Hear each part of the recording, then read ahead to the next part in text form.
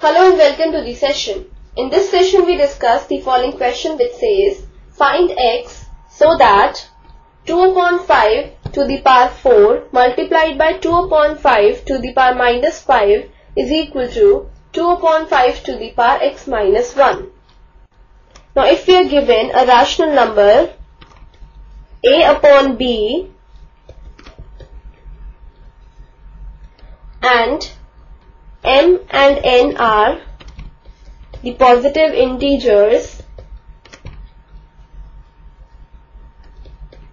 then a upon b to the power m multiplied by a upon b to the power n is equal to a upon b to the power m plus n.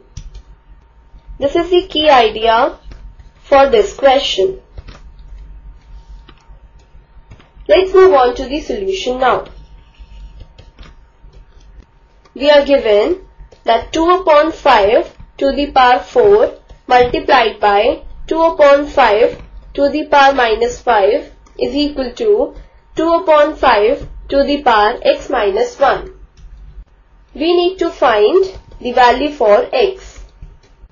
Now using the key idea which says that for any rational number a upon b and positive integers m and n, a upon b to the power m multiplied by a upon b to the power n is equal to a upon b to the power m plus n.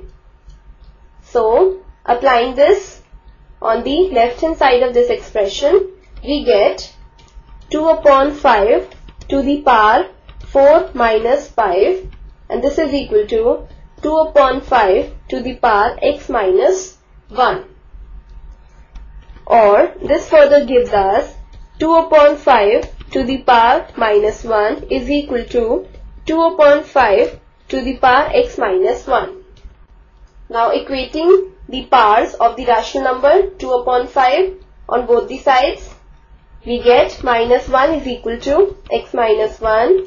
This means that x is equal to minus 1 plus 1 or you can say we get x is equal to 0. So our final answer is x equal to 0. This completes the session. Hope you have understood the solution for this question.